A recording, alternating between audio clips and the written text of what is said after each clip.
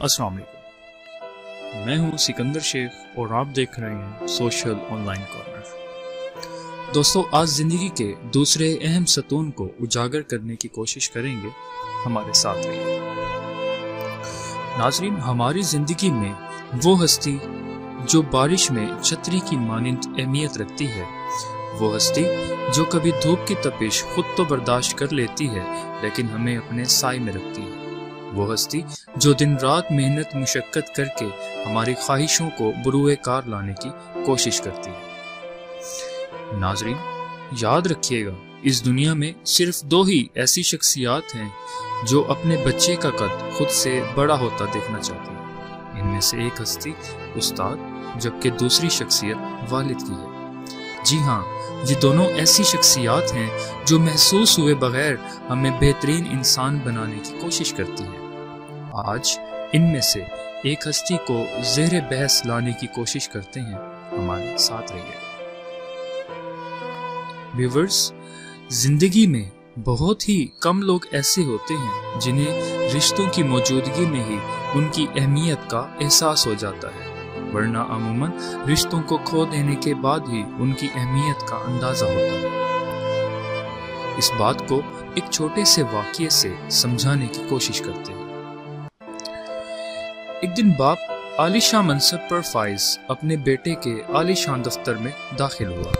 بیٹے کو محبت بھری نظروں سے دیکھا۔ دل زیادہ مچلا تو اس کے پیچھے جا کھڑا ہوا۔ فخر سے مغلوب ہو کر بیٹے کے کندھے پر ہاتھ رکھ کر پوچھا، بیٹے، جانتے ہو اس دنیا کا طاقتور ترین شخص کون ہے؟ بیٹے نے جھٹ سے جواب دیا، میں۔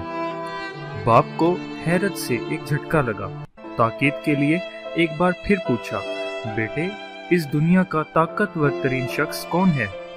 بیٹے نے بالکل پہلے جیسی متانت اور سکون سے دھیمے لہجے میں جواب دیا، میں. باپ کے چہرے کا رنگ متغیر ہو گیا، صدمے سے دل بجھا اور آنکھوں سے آنسو لہرا گئے۔ بیٹے کے کندھے سے ہاتھ اٹھایا اور دروازے کی طرف قدم بڑھا۔ دیا دفتر کے دروازے پر ایک بار پھر رکا۔ مڑ کر بیٹے کو دیکھا اور پھر سے پوچھا، بیٹے، اس دنیا کا طاقتور ترین شخص کون ہے؟ بیٹے نے بغیر کسی توقف کے کہا، بابا، آپ۔ باپ کی حیرت کی انتہا نہ رہی۔ بیٹے کی اس بدلتی سوچ پر بہت حیران ہوا۔ تھوڑے سے قدم واپس مڑ کر اندر آ کر آہستگی سے پوچھا، تھوڑی دیر پہلے تمہارے خیال میں تم اس دنیا کے طاقتور ترین شخص تھے؟ اور اب تم میرا نام لے رہے ہو۔ بیٹے نے کہا، بابا، جب آپ کا ہاتھ میرے کندھوں پر تھا تو میں اس دنیا کا طاقتور ترین شخص تھا۔ اور اب جب آپ کا ہاتھ اٹھ گیا ہے اور آپ دور جا کھڑے ہوئے ہیں، تو میں تنہا سا رہ گیا۔ کیونکہ میرے لیے تو دنیا کے طاقتور ترین شخص آپ ہی ہو۔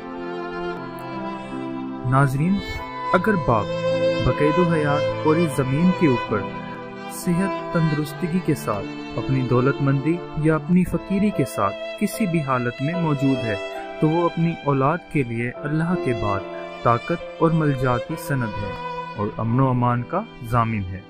مبارک ہو ان خوش قسمتوں کو جن کے والد زندہ ہیں اور ان سے راضی ہیں، ورنہ ایسے بہت سے لوگ موجود ہیں جو بابا کہنے کو ترستے والد کی قدر کیجیے، ان کا سایہ آپ کے لیے ٹھنڈی چھاؤں ہی نہیں اور بھی بہت کچھ ہے۔